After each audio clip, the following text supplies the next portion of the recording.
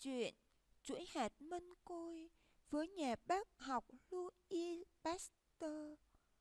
Trên chuyến xe lửa từ Paris xuống miền nam nước Pháp, hành khách đông nghẹt, ồn ào, kẻ lên người xuống, hàng hóa ngổn ngang. Một chàng sinh viên khoa học đang cố gắng lên lỏi tìm chỗ ngồi. Bất giác, chàng thấy một ông cụ già đang ngồi lấm râm lần hạt mân côi.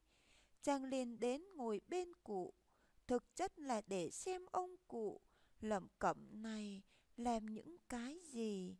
Thời buổi văn minh bây giờ mà còn ngồi đọc mấy cái kinh nhảm nhí. Chàng mở to tờ báo khoa học, có đăng hình nhà bác học Louis Pasteur đang nghiên cứu về một đề tài bàn luận về vi trùng học. Anh vội vã ngồi xuống và nói, bác có cần sách báo gì để đọc? Cho cháu địa chỉ, cháu sẵn sàng gửi đến bác. Thời đại văn minh này rồi, ai còn tụng niệm như bác nữa. Cụ già gật đầu, đọc hết kinh kính mừng.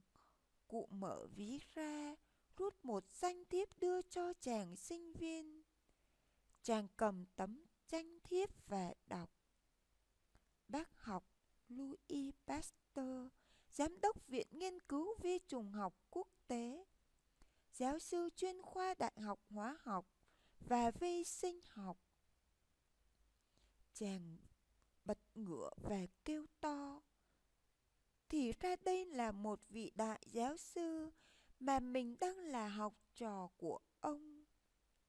Chàng liền so sánh hình chụp trong tờ báo khoa học và hình ông cụ nhà quê đang ngồi lần chuỗi. Thì giống y chang. Chàng liền quỳ xuống bên cạnh ông cụ.